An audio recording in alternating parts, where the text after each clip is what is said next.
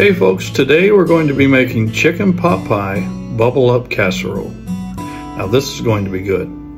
Let's have some fun. So we start off with two and a half cups of cooked and shredded chicken, and then two and a half cups of frozen vegetables, and then two 10 and a half ounce cans of condensed cream of chicken soup, and then one can of cream of mushroom soup, one cup of sour cream, one cup of shredded cheddar cheese, one teaspoon of garlic powder, one teaspoon of onion powder, salt and pepper to taste. Seasoning of choice, I'm using Cajun two step here, approximately two teaspoons. Half a cup of chicken broth, give that a good stir.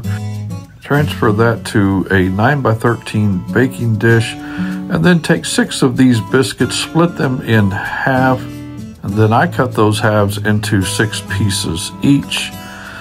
Then place your biscuit pieces on top of the mixture, brush with butter, and then cook in the oven covered for 20 minutes and then uncovered for another 25 minutes. Now this may not be your grandmother's pot pie, but that, that looks good enough to eat.